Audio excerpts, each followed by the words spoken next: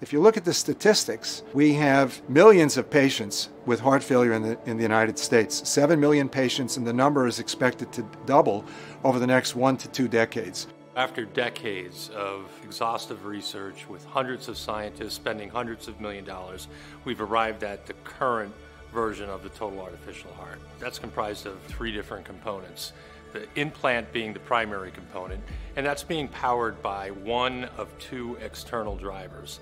The drivers are pneumatically driven, and it's all intended to simulate what's going on with the native heart. It's really intended for that end stage heart failure patient, biventricular failure, that really has no other options.